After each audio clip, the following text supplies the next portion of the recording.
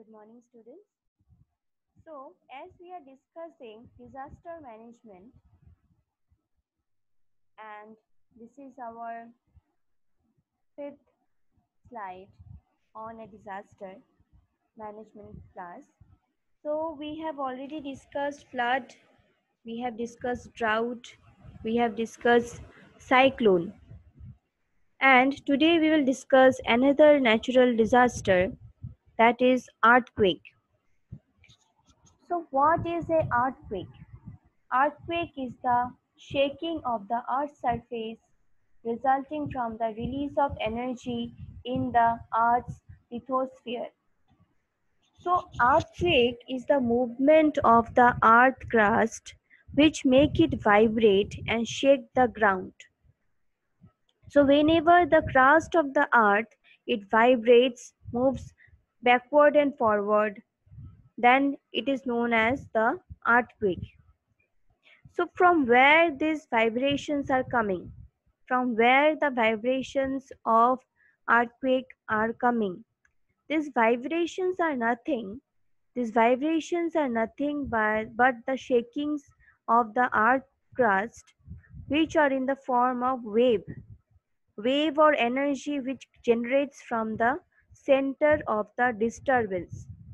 So there is place there is place in the earth crust or there is some place in the mantle or the core of the earth from where some sudden energy is released.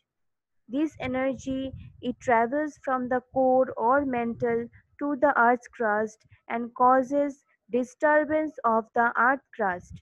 That is it causes vibration of the earth crust as the earth crust moves backward and forward so that is known as the phenomenon of earthquake.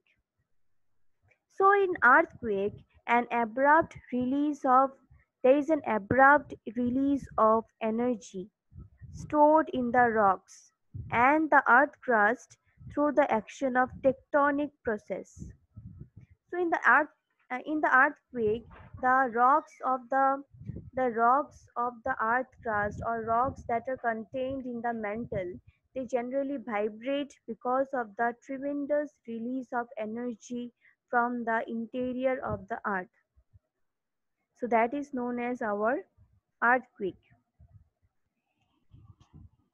So what are the causes of earthquake? The causes of earthquake can be tectonic movement of the earth crust. So firstly, it is the tectonic movement of the earth crust. So what is the tectonic movement? Tectonic movement means, see our earth has many tectonic plate. Our earth is made up of many plate.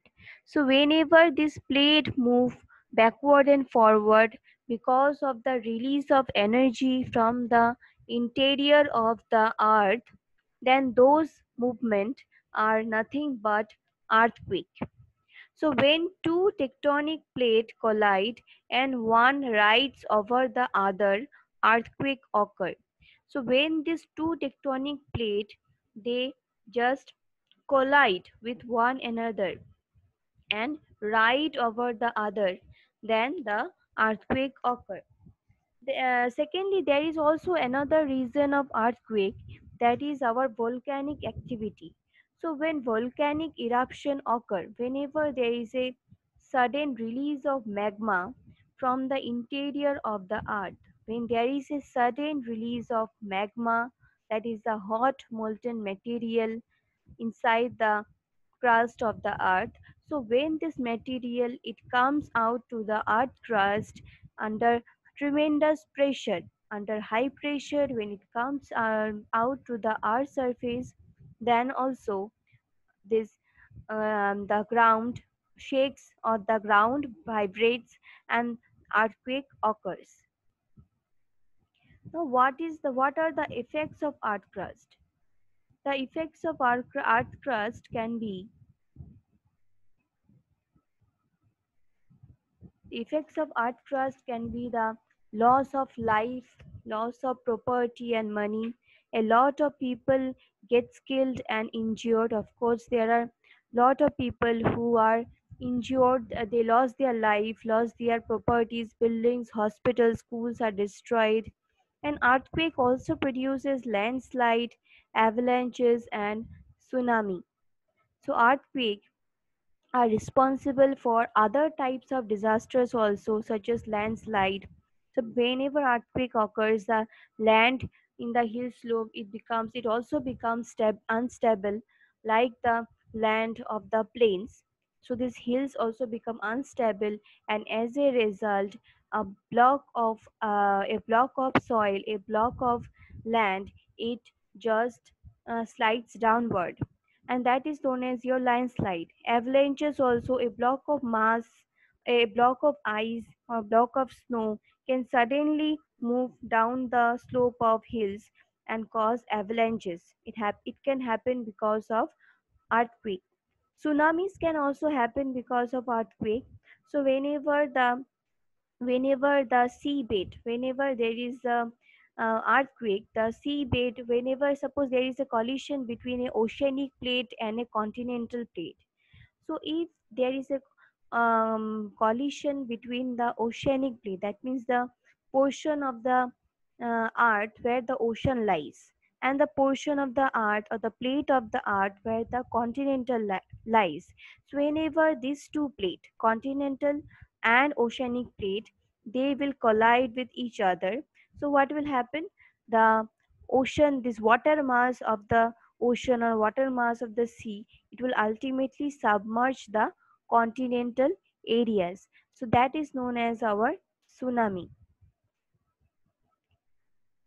So, um, what? How can we manage earthquake? See, earthquake is also is a natural disaster. We cannot uh, prevent its its occurrence because um, it is a natural disaster. It will happen.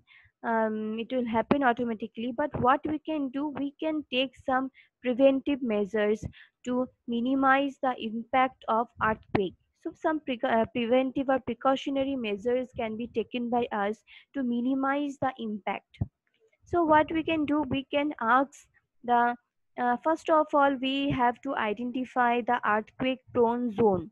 So what are the zones which are very much prone to earthquake?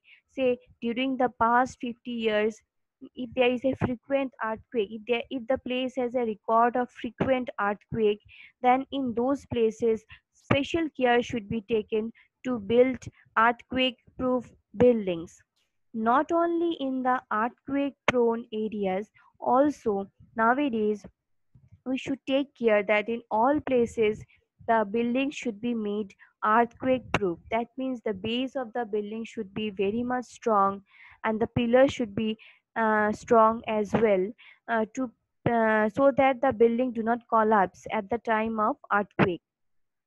Next there should be there should be uh, mm, strong and flexible structure. Of course the buildings where we are living should be strong as well as flexible at the same time.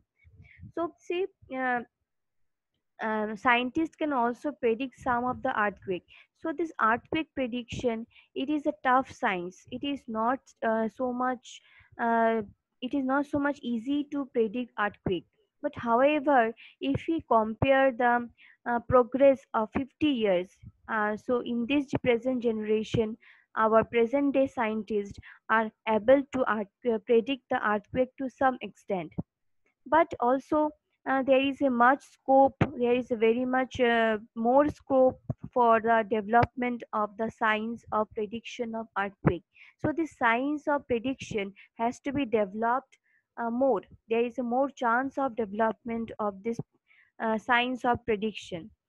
So um, so um, till now there is no accurate uh, there is no chance of accurate prediction of earthquake. However what uh, scientists have done or what they are doing is that they have identified the earthquake prone zone.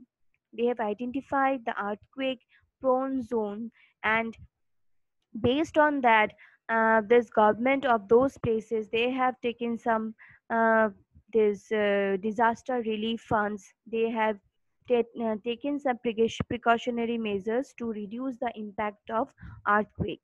So after the earthquake occurs so how, how what are the mitigation uh, measures that we can take after the earthquake has occurred? The mitigation measures include the uh, this establishing the communication system. So as the earthquake occur we know that in some places the communication gets cut off so we have to somehow we, we have to try to develop the communication system build up the communication system again so that we can follow the instruction given by the government. So then uh, there should be disaster relief funds should be organized at the state level as the central level also which we have although. And this disaster relief fund should work together to for the minimizing or combating the effect of earthquake. Also at the time uh, of earthquake when the earthquake happens and after the earthquake the ngos uh, we have many ngos which which deal with the disaster management. So they come up and they work in collaboration uh, with the public. They provide human resources and other required materials to deal with the problem. So this is about earthquake